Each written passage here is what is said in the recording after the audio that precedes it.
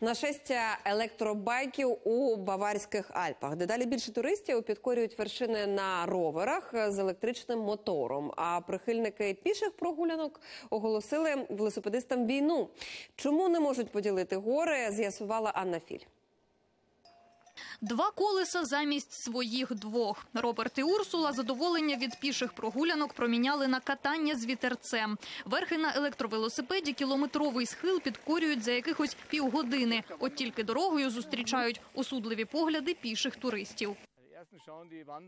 Перше, на що звертають увагу піші туристи, коли ми проїжджаємо повз, чи є на двоколісному двигун. Якщо так, дивляться зневажливо. Електробайки вони не поважають.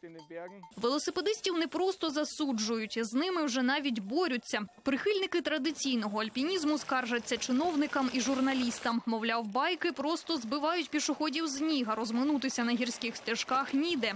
Занепокоєні й екологи, адже що простіше піднятися на гору, то більше охочих. А це вже загроза для незайманих альпійських лук. Велосипедисти дістаються вже в такі місця, куди раніше можна було піднятися, лише доклавши величезних зусиль. У цьому й проблема. Від навали туристів потерпають найвіддаленіші куточки гір. Протистояння спалахнуло через справжній бум електробайків. Лише торік німці придбали мільйон велосипедів, оснащених двигунами.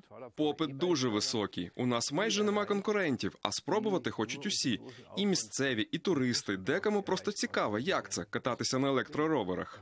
Щоб примирити велосипедистів і пішоходів, влада Баварії планує розробити окремі маршрути для двоколісного транспорту. Утім, хто стежитиме за дотриманням правил високогірного руху, не визначили.